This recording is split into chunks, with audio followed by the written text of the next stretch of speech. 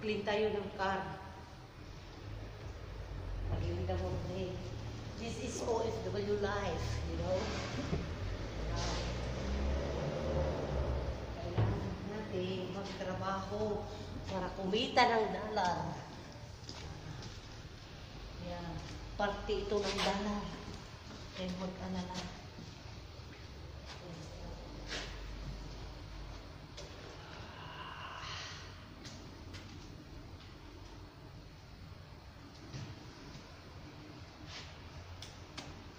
Kaya pira pa mo, hingi pa mo dyan sa Pilipinas. Tignan ang aming trabaho. Mahirap kaya ang aming trabaho dito sa abroad. Kala nyo lang? Hmm. Baka mabunggo na yan sa ano, sa kaka-gabla. God.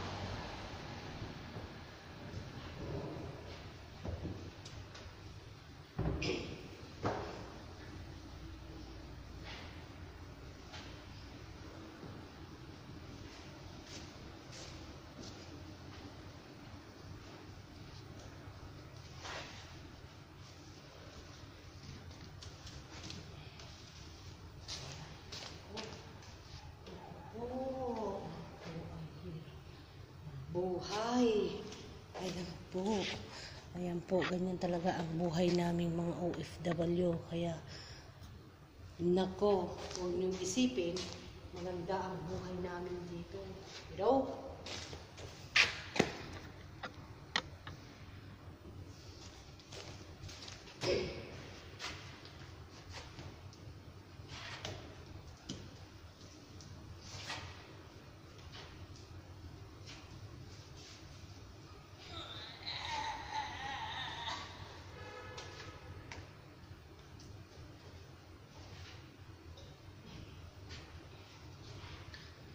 Mahirap kumita ng dala. Mahirap kumita ng dala.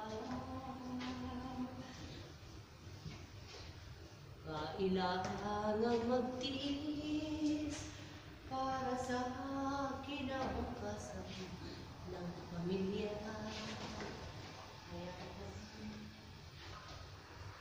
Automatic, hindi ko pa nga pinisil yung ano, yung susi. Nag ano lang, nandito lang ang susi sa bulsa ko.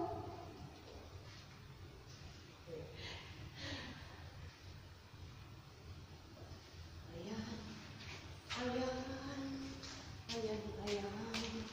Kailangan sabunan si Miss Universe. Yes, me.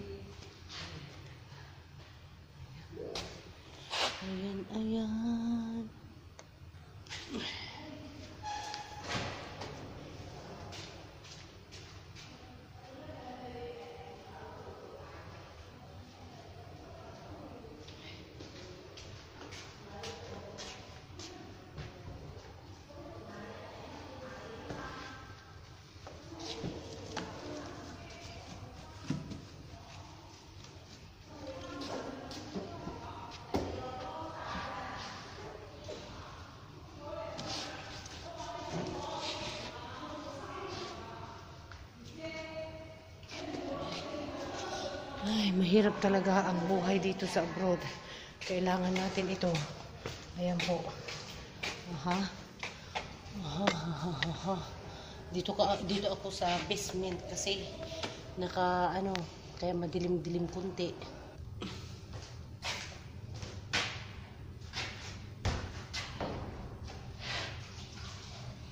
Kailangan hindi ano, mabasa ang floor dito kasi nandito ako sa basement. So, kailangan ko ng isang balding tubig lamang. Ayan po. Ayan.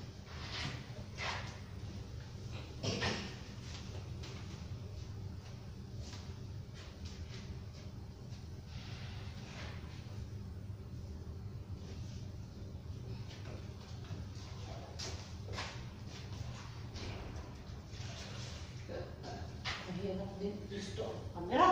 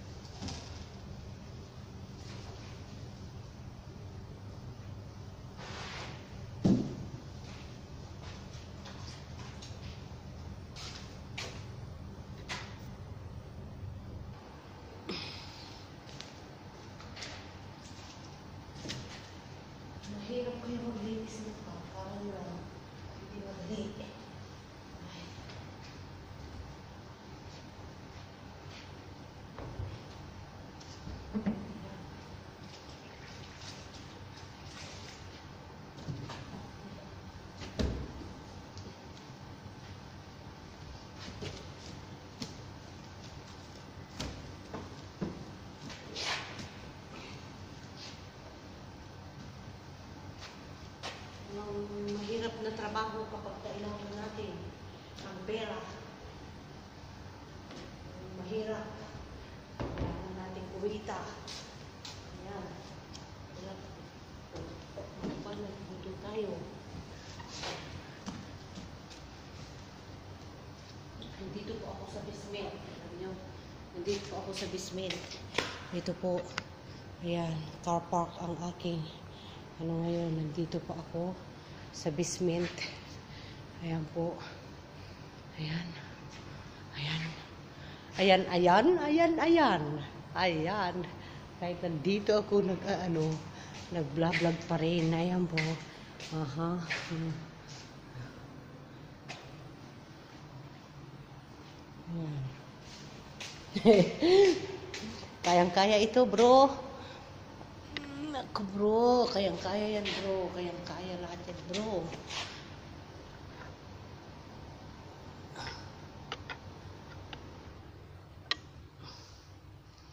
Hello, guys. Kaya yan lahat. Para sa pamilya.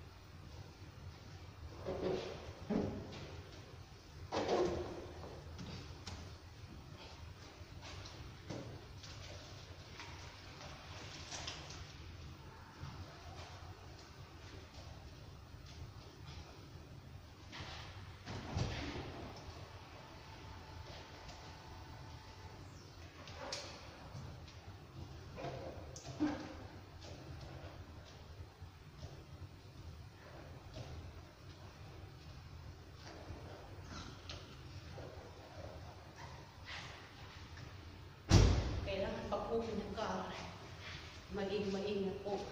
Kasi kapag nabunggo mo ang kapitbahay ng car, delikado pagagalitan kayo talaga.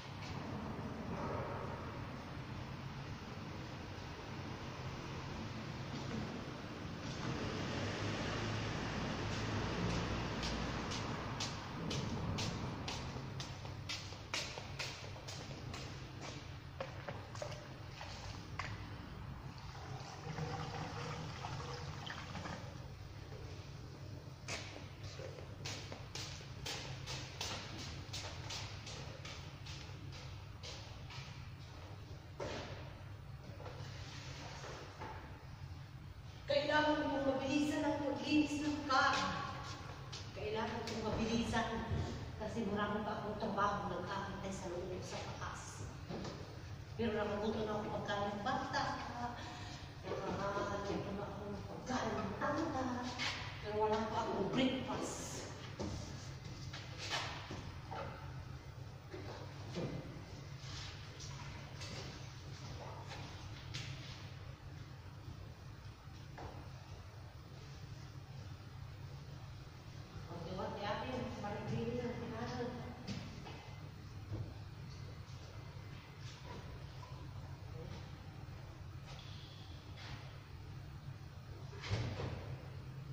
Dahan-dahan na hindi mabubugo ang kabila kasi pagagalitan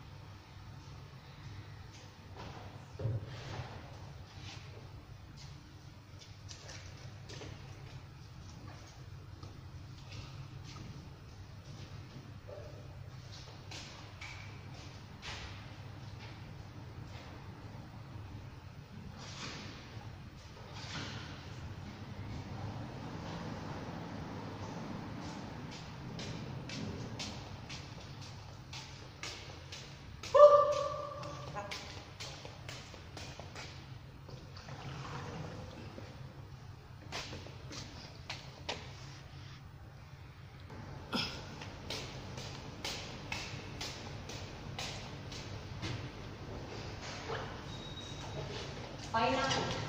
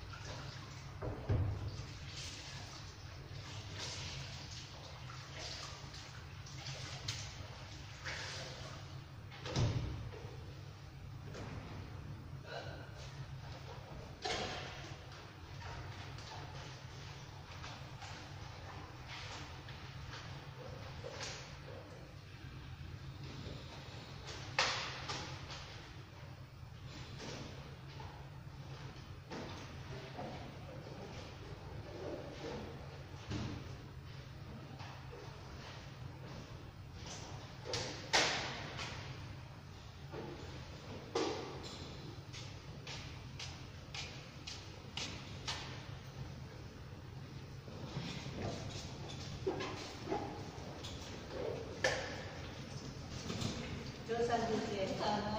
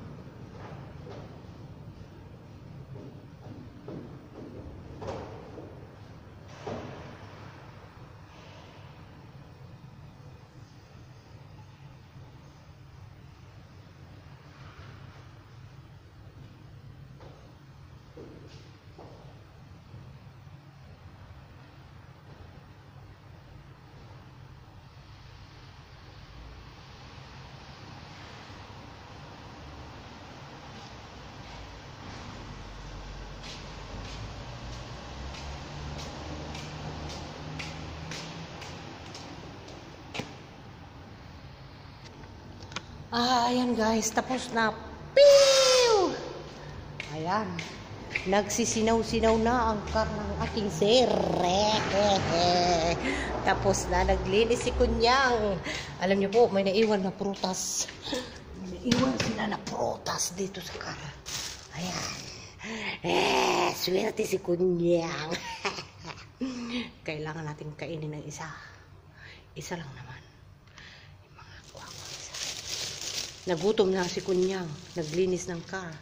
Ang aking car ay very shiny shiny na. Ngayon ay dito na ako. Tikman ko lang naman ang prutas na naiwan nila. Buti na lang may naiwan na prutas. Pangtawid gutom. Ha ha. Hmm. Mm. Pinunasan ko na sa aking ka. Sa ah, ganyan lang naman. Oo, see, see. Ah.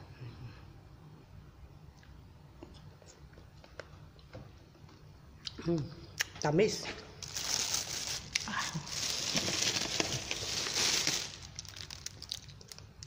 Swerte si Kunyang. May naiwan sa car. May naiwan sa car. Pero hindi ko babawasan yun kasi bilang yun. Pagagalitan ako. Ayan, dalawa lang naman ang kakainin ko guys. Natrapuhan ko na. Okay na ang car ng aking sir. Nag-shiny shiny na. See that? See that? Very shiny. Well guys, ganito po ang buhay namin dito. Kaya kayong nasa Pilipinas, naku po, money pa mo, dawat pa da. Dawat pa kayo, dawat, ti kwarta. Hmm, Kasi to'y karigat ni tikwa, trabaho mo dito abroad. Hmm. Anyway, hindi kami madamot, nagbibigay kami. Ang pagtatrabaho namin dito ay para sa inyo. Bye guys!